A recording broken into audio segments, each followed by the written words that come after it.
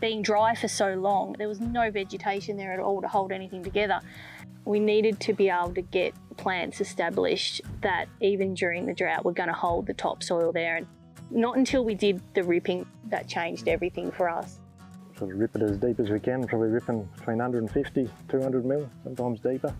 Well, I like to rip it when it's dry because you can see like it all fractures between the rip lines.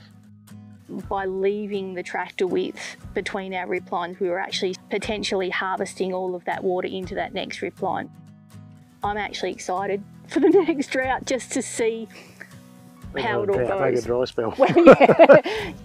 I think it's a realisation that if you put a bit of time and energy into this country, then there's no reason it can't be as productive as a lot of other areas.